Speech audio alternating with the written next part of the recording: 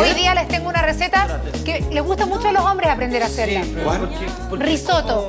Distinguido. Voy a enseñarles a hacer un risotto, los pasos para que el risotto te quede bien. No y el de hoy va a ser... No, entonces que esto es todo- rápido. cualquiera que le guste la Algunos cocina lo puede hacer. Es Sí. rápido, pero requiere de, de presencia de uno de estar ahí atento revolviendo. Lo que pasa es que uno espera el risotto, Hay que no la gente lo espera a él. Ah, muy bien. Toma. No, no como Como un era. asado. Ah, mal. Al revés. El risotto lo La espera un- gente espera el risotto y no, no, no. Ah, te había dicho cómo era. Está bien. Vamos con los ingredientes hoy día de espinaca con queso de cabra, el risotto. Vamos. ¿Cómo era la frase? Claudia, léete los ingredientes para acordarme de la frase. Risotto de espinaca y queso de cabra, media cebolla, aceite de oliva, miraflores, dos tazas de arroz grano corto, Sí, una tacita de vino blanco, vino blanco. Bien. caldo de pollo natureza, una taza y media de espinaca cocida, dos cucharadas de mantequilla, media taza de queso parmesano, 150 gramos de queso de cabra, Que te gusta poco a ti. lo amo, sal y pimienta. Sí, ya. Entonces, ¿qué es lo primero que vamos a hacer? Vamos a picar la cebolla y vamos a hacer un sofrito. Salfa, pon atención porque es sencillo, ¿ya? Sofrito y vamos a dorar la cebolla en aceite de oliva Miraflores. Perfecto. ¿Ya? Perfecto. Y ahora yo incorporo entonces el arroz. ¿Por el qué arroz grano corto? Grano corto. ¿Por qué? si no- Porque el grano corto tiene más concentración de almidón y a medida que le vamos agregando el caldo va soltando el almidón Ya, y forma esa cremosidad tan característica del risotto. Perfecto. Oye, igual con grano largo no hay problema. Me gusta a mí, yo compro grano corto. A mí me gusta porque es más pegotito. ¿Tú, tam- tú largo? Sí. No, yo corto. ¿Tú largo? En serio, en ¿Cómo serio. Me gusta más.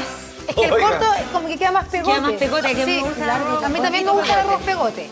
Entonces, tenemos acá ya, tenemos que mezclar muy bien a que tome temperatura. Mientras José, esto pasa... si uno no sabe hacer eso, ¿cómo le No, hace? con la cuchara. Ah, y listo, ya. Sí, no, con la cuchara sí. Lo que pasa es que es muy rápido para el risotto manejar esta tecnoca. Es pura muñeca, salsa. Sin agua. No, sin agua, estamos dorando también un poco el risotto junto con la cebolla. Por otra parte tengo la espinaca cocida. Perfecto. Ya la cocí en agua hirviendo, la metí en agua hirviendo un par de segundos y luego la colé. ¿Ya? Y lo que voy a hacer es que la voy a moler porque quiero hacer una pasta de espinaca. Tengo el arroz acá y este es un momento clave. Sí, fue. Es clave la receta que es cuando incorporo el vino, ¿ya? Porque necesito el... Ya, ese Silencio. sonido, ¿ya? Ese sonido yo estoy buscando. Ya corten la música entonces, Gilbert. No, es que te imaginas y no me sale. Ya, bueno. Ya. Ya, el vino. Sí, no, pues. Bravo. Oh, ¿Ven cómo suena? Oye, hay un comentario de cocina, dice acá, uno espera el risotto, el risotto no te espera a ti. Eso era. ¿Ven?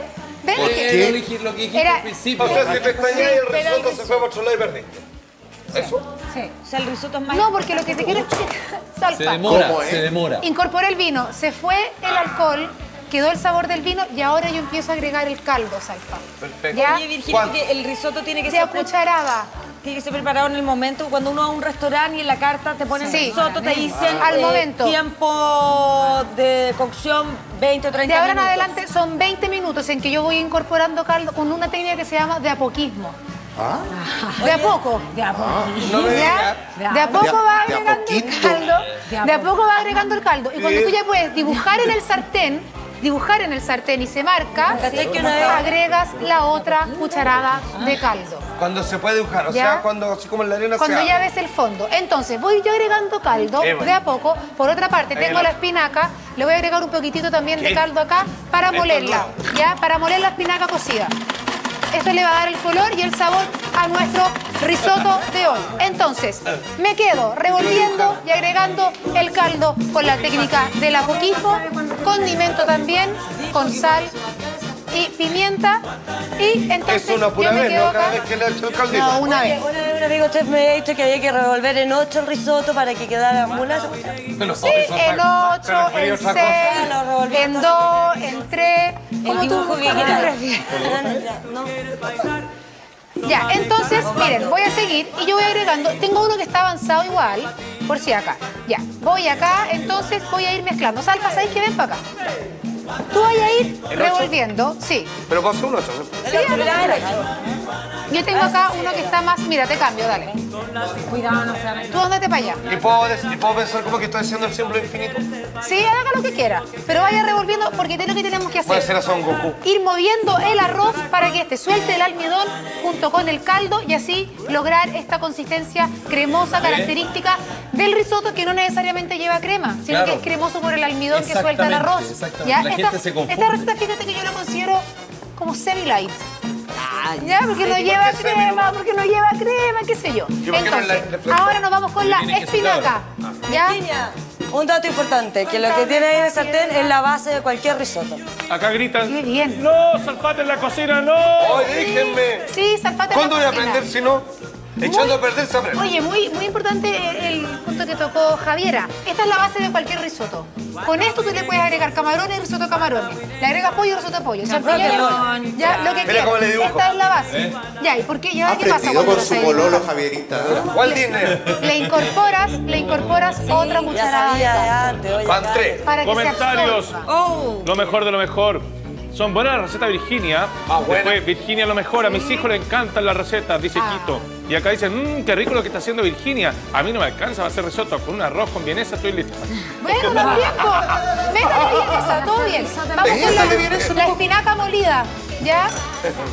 Vamos a mezclar y esto le da entonces el verde característico a Oye, nuestro cansa. risotto. Ay, ya. De práctica, No, ¿verdad? nada, no cansa nada. Ahora también Mentira, mantequilla. Ah, ahora se Me le gusta el color Ya, verde. vamos con el brillo para este risotto. Ah, la semi-light. Virginia, eso, pero ahí ya se supone que ya va- casi va a estar ya el... Sí, ¿cuándo está listo? El Cuando arroz. tú pruebas el grano, antes de agregar la espinaca, tú pruebas el grano del arroz y está muy, muy blando por fuera, pero todavía sientes un, un Ah, leve ah. crack en el centro. Sí, pues, porque es rico a punto, ¿Ya? Sí, es rico a punto. Ya. Me encanta la cocina Entonces, Virginia, muy simpática, hace de la cocina algo ameno y agrega lo siguiente además. Pollo, Mira ayer hice los alfajores que enseñó la Virginia la semana pasada, causaron sensación Qué tus alfajores.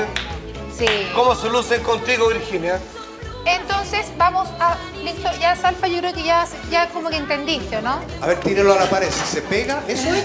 No, pobre. No. Eso ya. tallarines. Oye, lo último que me falta por incorporar, que eso es al final, es por supuesto el queso, el queso de cabra. Pero mira, Sí, mejor revolverte la escoba. que rompe el deseo. Ah, Salfate se te está. Algo nuevo que no se le queme la rosa. pero me, me- ¿Cómo Vamos va ido con las gestiones para traer al este, chiquillos? ¿Tenemos novedades o no? Ay, qué bueno. Ah, De uno de los tantos. Me encanta. de ellos, Parece pues. que si vinieran acá a tocar, hay un límite. Estamos haciendo todas las Y con movidas. Yuri. Ya. Y entonces, lo último que me queda agregar, Claudísima, a ti que te gusta mucho este ingrediente, es el queso de cabra. Lo tengo rallado, agregamos un montón de queso de cabra al risotto, mezclamos rápidamente. Claramente se va a derretir el queso y después si te sobra risotto. Se va a poner duro. Cuando tú quieres eh, recalentar el risotto. La forma de recalentar el risotto no es volver a ponerlo en un sartén y volver a servirlo. Lo que yo te recomiendo es ponerlo en una fuente para horno, echarle queso parmesano arriba y gratinarlo. Y no queda seco. No, hay que echarle queda ningún líquido. queda como un budín así.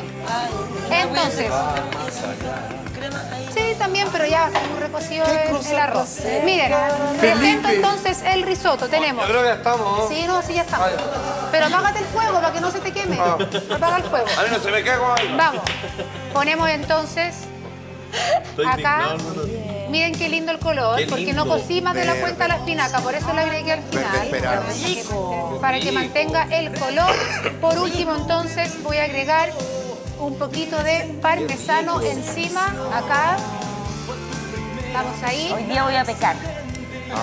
No, no. Ya, y el último detalle que lo hice mientras hablábamos contigo, Salfate, es que hice una galleta de queso de cabra. La hice en el sartén, puse un poco de queso de cabra mientras conversábamos contigo. No, agregué un montón de queso de cabra en el sartén, lo empecé como a jugar con la espátula, así, lo movía, lo movía, hasta que Es se como una endureció. sequita. Y esto le da un el detalle gourmet, fashion al plato. ¿Ya?